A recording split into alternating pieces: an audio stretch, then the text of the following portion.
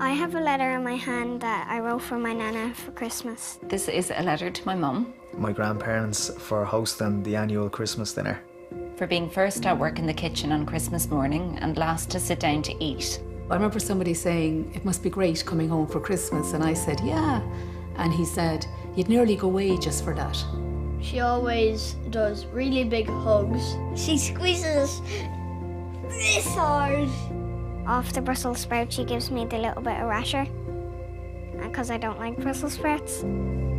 I probably have 30 photographs of Christmas dinner, you know, from, from the time that I was really small until, until, until now. Thanks, Nana. Love, Caitlin. Love, your daughter Fran. Lots of love, Graham. Thanks, Mum. I don't say it enough. Sensational hosts. The best hosts. It's the best dinner of the year.